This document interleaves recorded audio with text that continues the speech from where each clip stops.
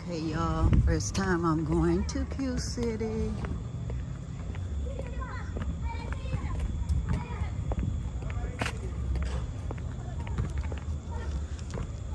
You have to walk from the parking lot to go to the place. I'm a spot y'all.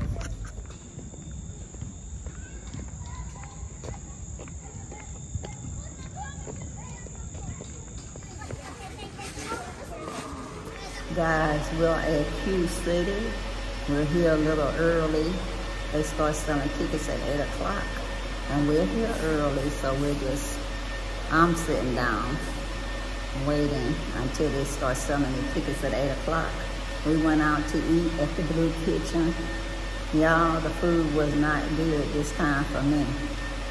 Henrietta left out.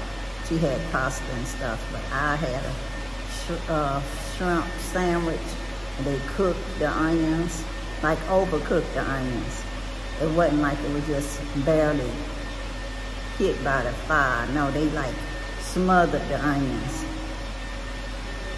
The shrimp was supposed to be fried, but it was like they was boiled and balled. So it was not like a shrimp po' boy like in Texas. So y'all, I'm thinking it's just so I won't miss Texas.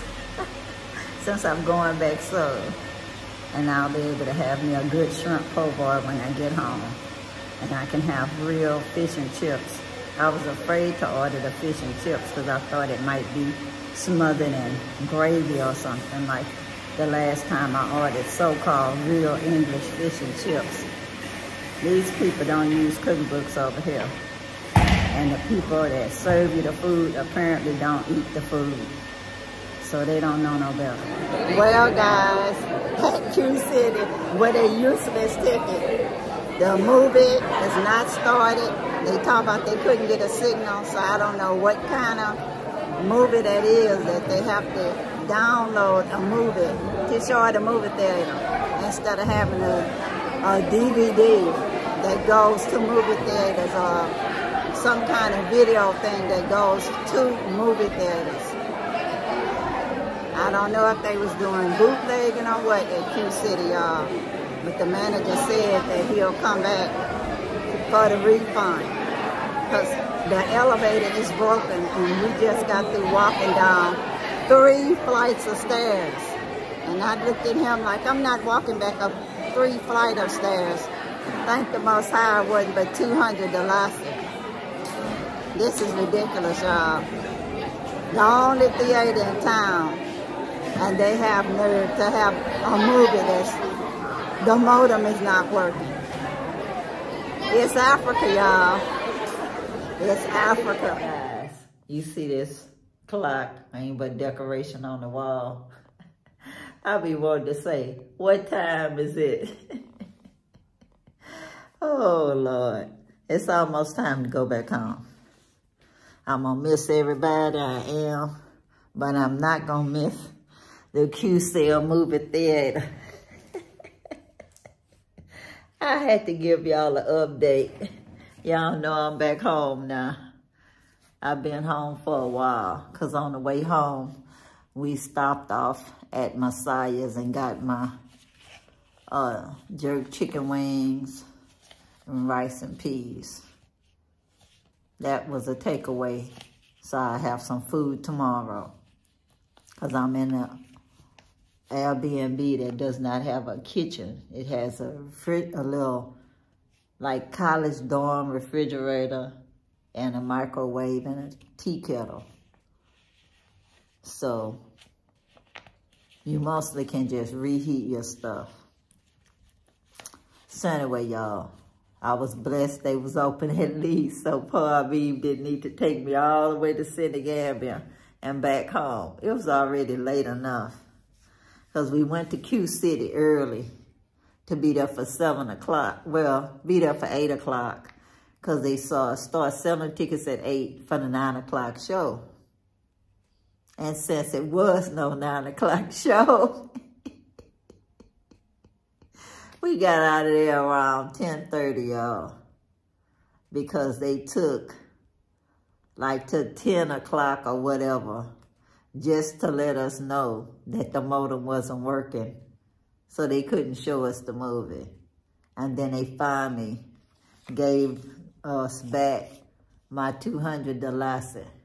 Kenyatta had to actually go back up those three flights of stairs and sit back in the seat where we were sitting and then had to give them my ticket and told them, you know she can't walk back up them flights of stairs.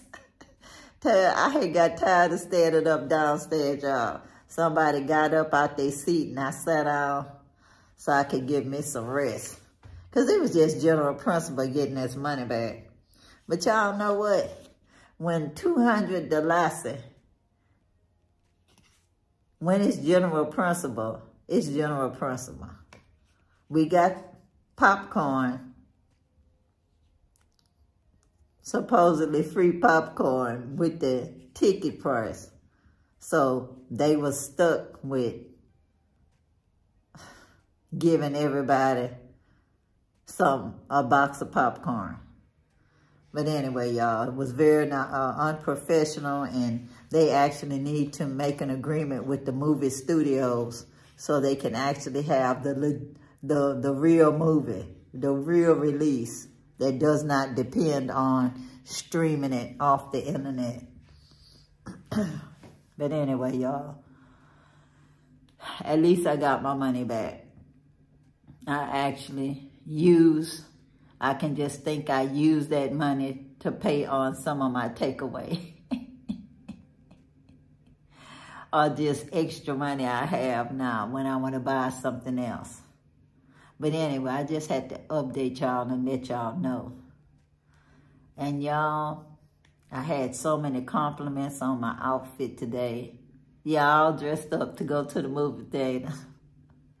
Thinking I'm being Black Panther out because it had djembe drums and conga drums on it. Had my djembe drum necklace on.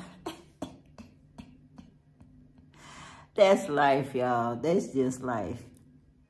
You know? I would definitely, if the Most High say the same, go to the movie. When I get back to Galveston, we have good seats there.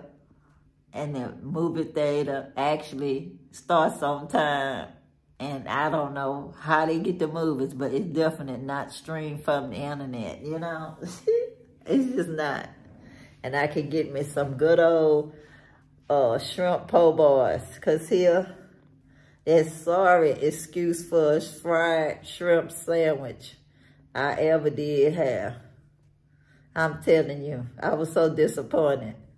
I didn't get the fish and chips because the last time I ordered fish and chips somewhere else, they like fried the fish, had the chips there, and put brown sauce all over the fish. I'm like, who does that? Apparently, whoever is cooking doesn't eat the food, you know? So, and then they never ate the food in the first place to understand that that's not how you make it. And whoever owns the restaurant don't care about customer service, apparently because they don't check how the chefs is cooking the food or care about the customers being happy. Telling me I'm sorry it's not going to make me go back there and order that again. I don't know. I'm not going back to the Blue Kitchen because I done already bought two things from them. That was very mediocre, y'all very mediocre. I just ate that because I didn't want to be sick. I needed to eat, you know, so I just ate it. But I put it, put a lot of mayonnaise on it to get rid of that taste of those cooked onions. I mean, I like onions if they crispy. you know, you just slightly stir fry them and they have some texture to them. But these onions was like overcooked, smothered. It was terrible. But anyway, I lived through it, y'all. So that's life. That's just experience for the spice of my life. So far, my best place I eat is Yosh, Y-O-S-H. They have the best food. The seasoning is perfect. Every time I've been there so far. I hope they don't never disappoint me, y'all. I gotta have somewhere when I go out to eat. somewhere to go where I could rely on the food being good on a consistent basis.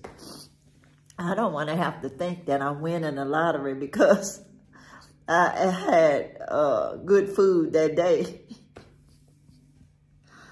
oh, that's something. And I don't want to have to feel like I have to add a secret sauce to my food just so it have seasoning, you know, spicy seasoning. I'm Creole, y'all. I want to have that seasoning in my food. But anyway, I'm counting down my days till I go back home. About a week left, y'all. I would surely miss being here, but I gotta go back home. I unfortunately did not build a good Patreon base. I didn't. It's still time where people can join Patreon. I need a consistent donations, y'all, so we can get to the next level. Yeah, people would donate one or two dollars, that's all, just one or two dollars, and share the videos with people where more people will see the videos. If more people see the see the videos that actually care about what we're doing in a community, so people can learn about permaculture, growing what they eat, eating what they grow, eating healthy food, from planting from the seed to harvesting it and eating it and knowing that it's good for you and that you did that. Your hard work did that.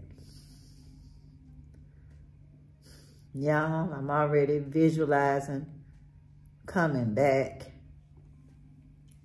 I'm not going to say what time, what, you know, because I have to work on some things back home in Galveston first before I come back. But short of winning the lottery, I actually need help of other people to actually decide that permaculture food garden in Africa is a good idea. Because who feeds you controls you, y'all. Who feeds you controls you. And I actually got that from Baba Infalati, one of my good bro friends and brothers in Houston, Texas. He's not the only one I heard say that, but he's the first person I heard say that. Whoever feeds you controls you. So we need to be feeding ourselves all over the world. We're blessed in a Food Forest Project in Jelly to have Mr. Baji uh, share his expertise with us. I actually knew a lot of the stuff that he's doing, but you know what? When a man says something, lots of times some people hear them very well on, you know? so if he says it and people hear it, well on a video or in person, I'm happy. I'm happy and I'm happy. Long as the message goes out there, I'm happy. Whether I'm in front of the camera or behind the camera like I am at the food forest for the most part, I'm happy, y'all. Long as the work gets done, we're a team. We are. So anyway, I'll leave information in the description box and in the comments on how you can donate Like I said, one or two dollars or whatever the Most High put on your heart, it all helps y'all. Y'all don't need to ask questions like, where's your house gonna be and all of that, because that all costs money, y'all. The house is gonna be in the front of the property. It's so much space there where we have not planted anything on purpose because that's where the house is gonna be, y'all. It's enough of space there for my house and the security house. And it also has space on the other side in the front for space for local vendors to be and display their artwork or craft or whatever. It's lots of room there for everybody in the community, y'all. The visions are in my head, but it takes money to make it happen. Y'all hear me? It takes money to make it happen. So until I see people donating more on a consistent basis, it'll take time for it to happen. So please have patience with me, y'all. Please have patience. I'm just one person. I'm just one person. My Patreon list is very, very small, y'all. In fact, I get less than $50 a month with Patreon, and that's telling the truth. Less than $50 a month total. So, I'm still happy that at least it started as more than zero. So, I'm happy that they're there. But I would love to have more Patreons that's active and giving me ideas on how to make the garden grow and people that actually want to come for visits to the food forest because they are part of the food forest because they donated to help make it happen. And they want to see where their money went in person. You know what I mean? But anyway, until next time. Because who knows how long it's going to take to upload this video. peace, peace, power to the people. And I'm out, y'all. Bye.